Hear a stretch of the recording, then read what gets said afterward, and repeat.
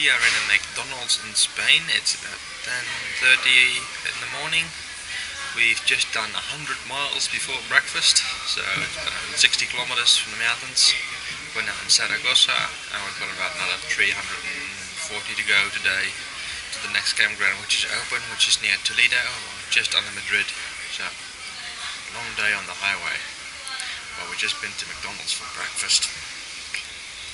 We asked the guy, said, can we get this burger for breakfast? And he went, un momento. He went to the kitchen, came out and said, see. So we had a burger for breakfast.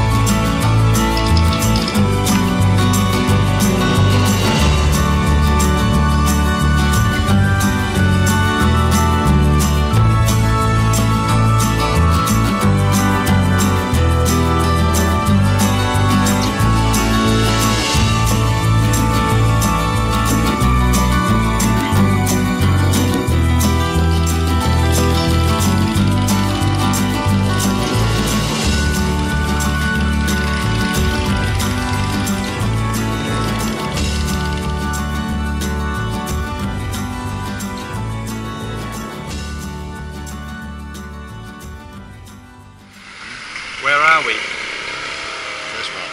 Uh, where are we? This one. Where are we? Somewhere in Toledo. Very nice old city where you can buy swords, knives, guns, all that sort of stuff. Great. And we are now, if you can see behind me, here.